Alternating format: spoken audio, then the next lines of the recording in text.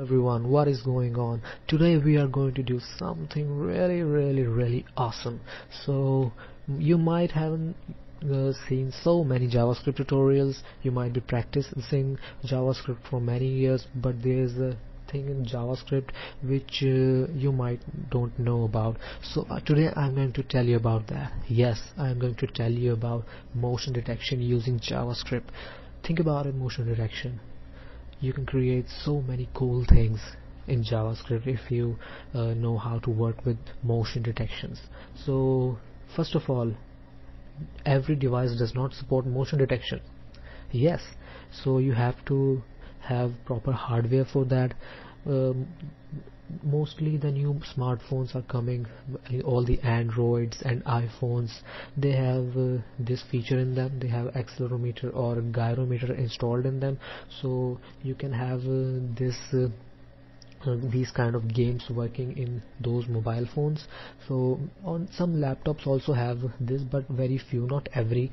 So you have to make sure that uh, you use this on device which has this motion detection support. So what we, we are going to make today? Today we are going to make um, a ball a bouncing ball. Yes a bouncing ball in a box. So let's see how we can make that and what's the code behind it? We will understand everything in the code. So please like comment share and subscribe. I love you all for the previous support. And uh, i hope you you are liking my videos. If you have any suggestion please comment me. I will definitely answer to you your questions and all your suggestions. So let's see what's the code behind this. So as you can see I have already written the HTML code some CSS code and JavaScript code for this project. So I will uh, briefly explain everything what I have done here.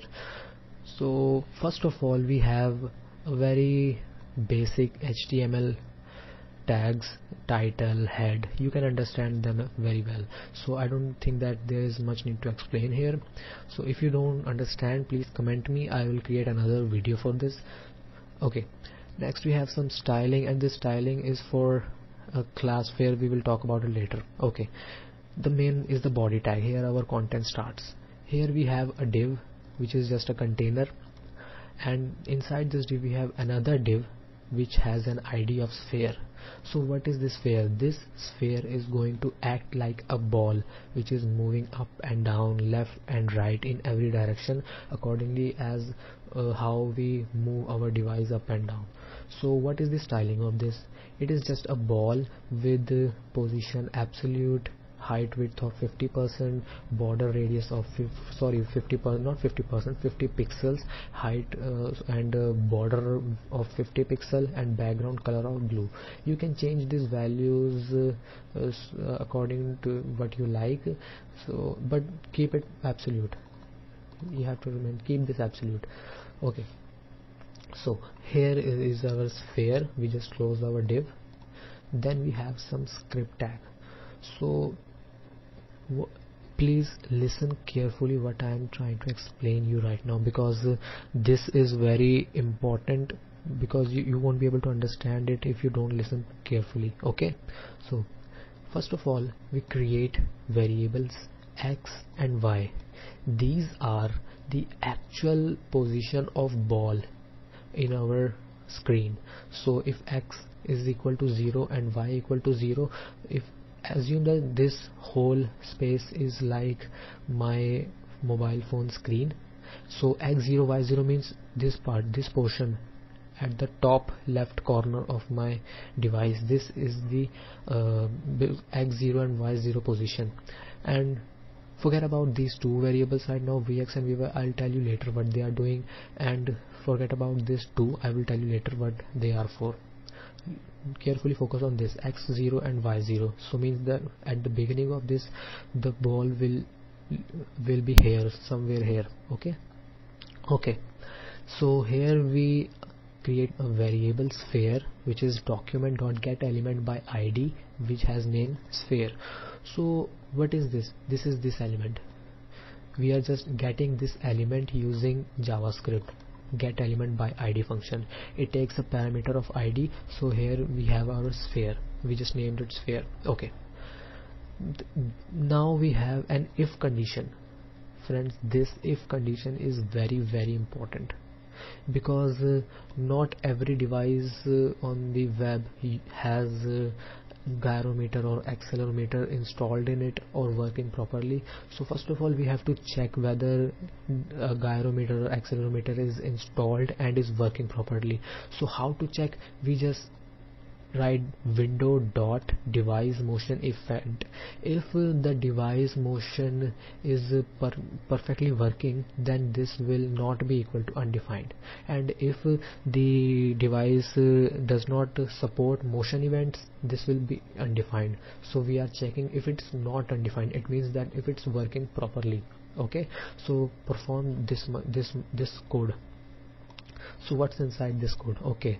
First line of this code we have window dot on device motion. It means whenever device whenever the device uh, feels some motion it will generate it will perform this function. Okay. It has an event parameter passed to it. So all the information related to the event will be passed to this function. Now see carefully. Here we have a ax variable. So what is this ax ax is nothing but it's an acceleration of uh, which is caused by the movement of our device. So th this is the way to uh, get the value of this acceleration. We pass event acceleration including gravity. So the, whatever the event passed to it so acceleration due to gravity dot x star 5 so star means multiply by 5 we are just increasing the actual value which we get from this event and multiply it, it, it with 5 and same here we have ay when we have event dot accel acceleration including gravity dot y means acceleration in y direction multiply with 5 so we are increasing it by 5 times okay. So we are done with these lines. Now come to this line set interval. Set interval is a javascript function which is uh, used to call a particular function again and again and again and again after a particular interval of time. So this is our function which we are calling again and again after an interval of 25 millisecond so friends you can see 25 millisecond is a very small duration of time. So this function will be called again and again and again and again. Very very very very very fast. Okay? So we inside this function we are creating a var landscape orientation. So what is this landscape orientation? It is uh, just uh, checking whether you are in a portrait mode or a landscape mode. Uh, you have may have noticed in all android or uh, iphones there is a setting uh, called auto rotate or uh, maybe rotation lock which we can uh, on and off so that our device will be in particular screen state. So you might have get what I'm trying to say. So it's just for it is just checking that if it is the way to check it if window if the width of window divided by uh, height of the window is greater than 1 then uh, this uh, variable will become true this variable will become true. And if width is smaller than height then this variable will become false. So when this variable is true it means this this portion will be called and uh, vx vx uh, is something which uh, tells in which direction we have to move.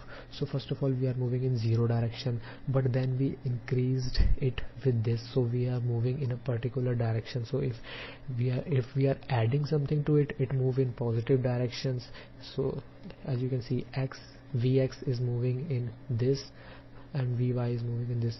And if the width is smaller than height then we have this code right here. This code will run. And uh, there's a just a small difference in this the position of vx vy and position of plus and minus. So this will change the behavior of object in these two orientations. So don't worry. They are very easy. You can uh, hack them very easily. You can tweak them according to your needs. So don't worry this, this is not a big deal much. So it will just change the behavior of how your ball works. So how it behaves here we are just uh, multiplying the vx or the directions to 9.8 you can use 1 2 don't use 1 because 1 will give again back the same value. So you can use smaller than 1 greater than 1 again it will just change the behavior of ball how your ball behaves. So you can change these values. I choose these values because i like them.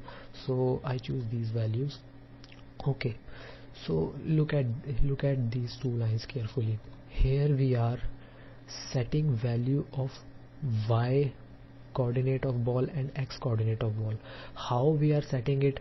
We are taking the initial coordinate. Initially the these coordinates are 0 and 0 so we are adding something to 0 this this value.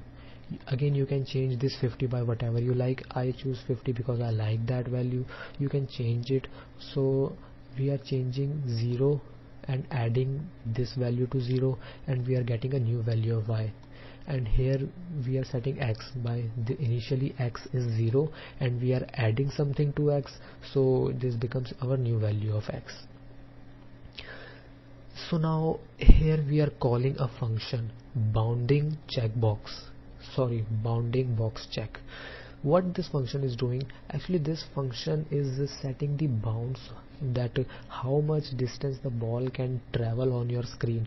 So what if your ball uh, start going to left of your screen and keep going left keep going left? It uh, a time will come when it will become disappear from your screen because it it's it has gone far away to the left so that you can see because your device width is limited so this function is exactly doing that. It is uh, stopping the ball to go away from your screen it uh, screen it will always be visible to the screen. So how we are uh, doing this?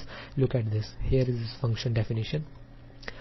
First of all we are checking if x is smaller than 1 okay? So x sorry x is smaller than 0 i'm sorry. X is smaller than 0 we are checking. So if x is 0 ball is somewhere in the here at the left. But when uh, it will become smaller than 0 it will get disappear. Okay? My mouse cannot go there otherwise I will show you how it can disappear. So it will become disappear.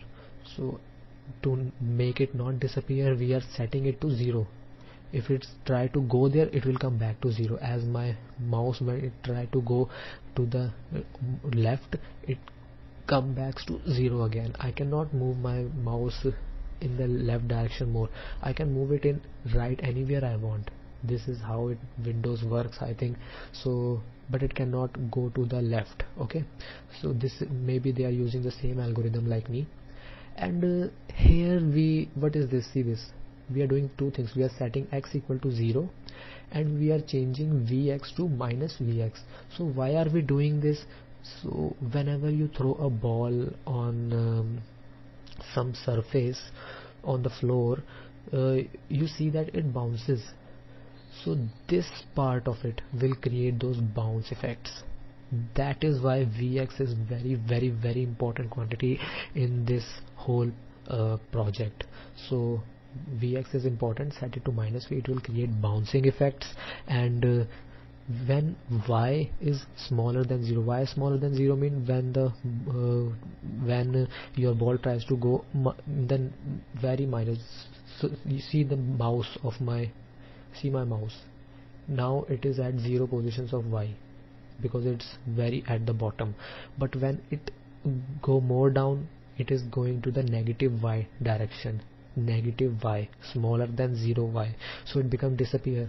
So to not making it disappear we are using this code. Whenever it try to go in the negative y direction we just set it to 0 so whenever it try to go it will come back to 0 whenever it try to go it will come back to 0 so so that is the code for it.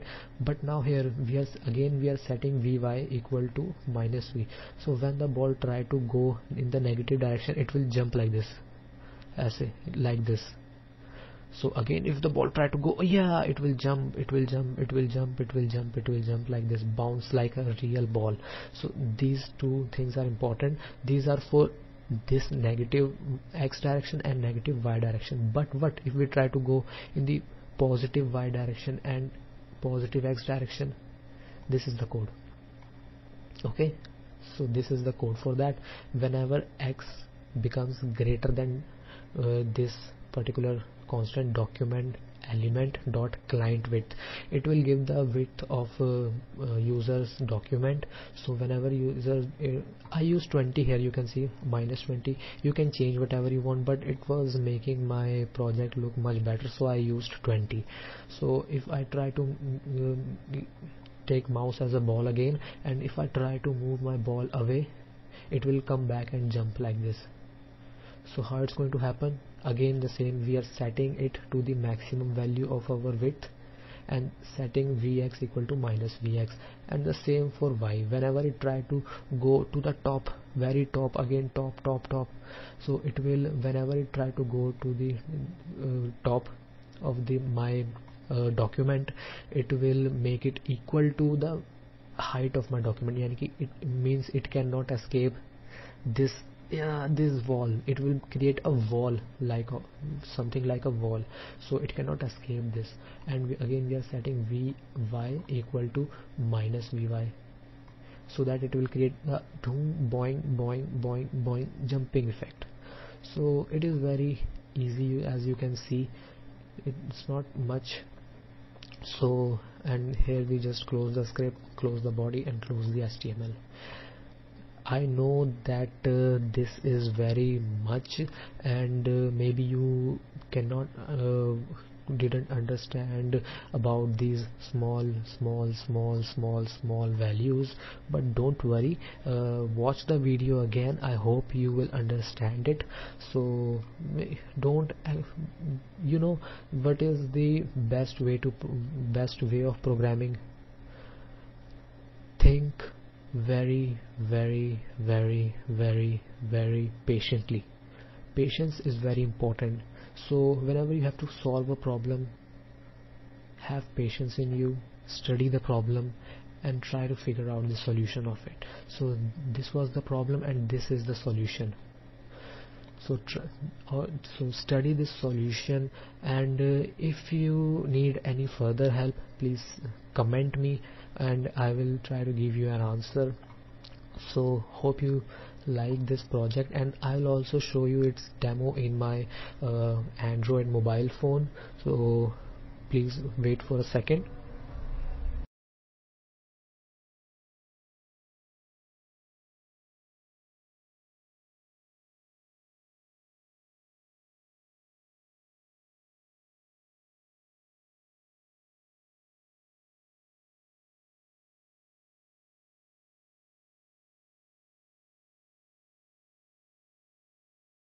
I hope you enjoyed the video and please support us by like, share and subscribe to our channel.